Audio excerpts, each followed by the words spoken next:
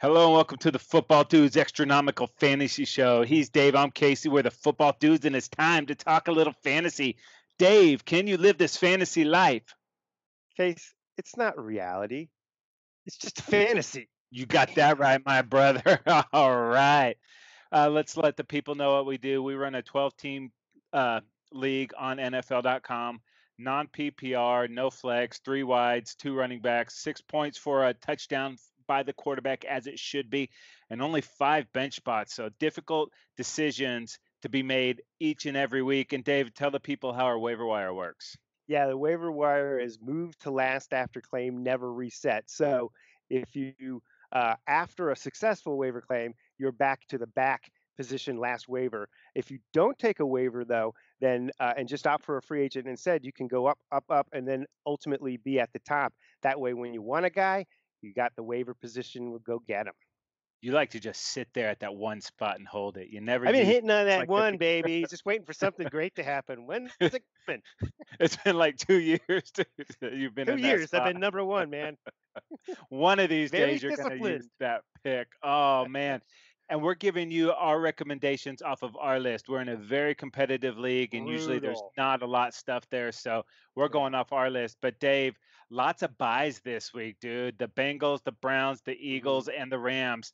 So I'm having a feeling there's going to be some quarterbacks on that waiver wire. They got yeah, yeah. Not to mention the byes, like the COVID here, COVID there kind of stuff. I mean, man, we are struggling here. But on the on the waiver wire, we already uh, had Big Ben, Stafford, Mullens even go, Casey, at yeah, at running back, Mostert, Zach Moss, Justin Jackson, and Jerick McKinnon. So running back uh, was also pretty popular on the wire this morning.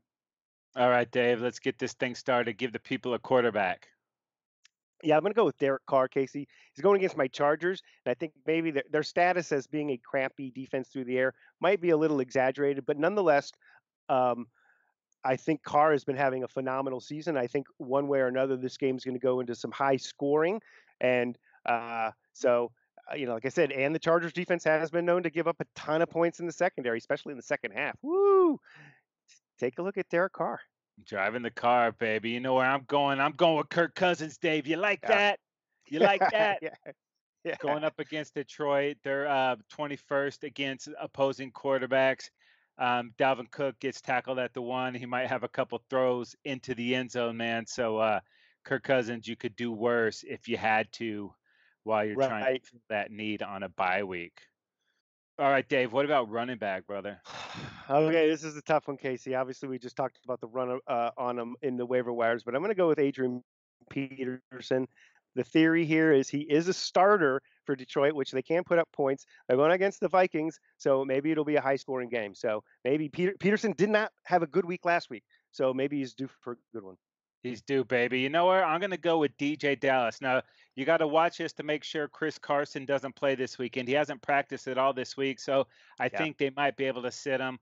Buffalo's kind of middle of the pack against uh, running backs, and DeeJay didn't have a lot of yards last week, but he got two scores. So just yeah. uh, you know, as effective as that offense is, you might be able to score some pay dirt with DeeJay.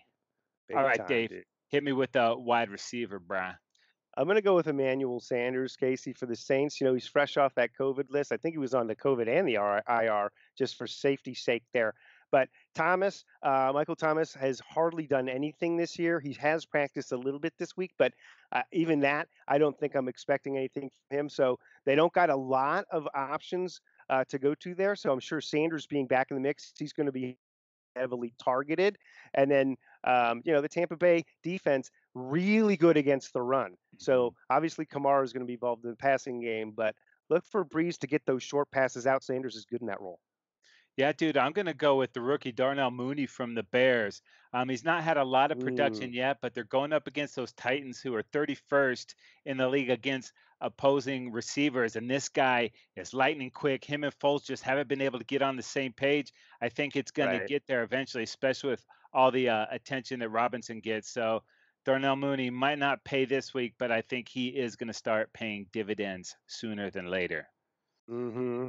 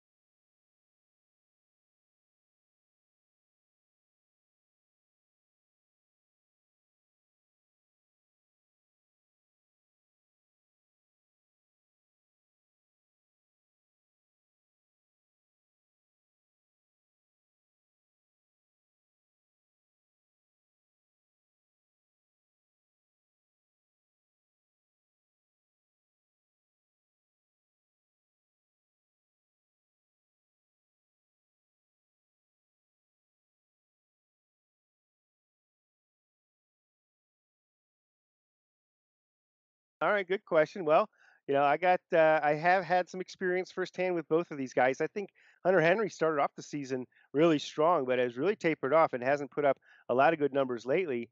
Uh, but Hockenson, um, he was, a, you know, he had some good numbers, then dipped off, but now consistently for a handful of weeks now, really doing a, a pretty good job. Also, overall, are better than Hunter Henry's, and he's going against Minnesota. That defense has shown that um, they are, you know, obviously uh, liable to give up points uh, to the passing game. So eh there you go.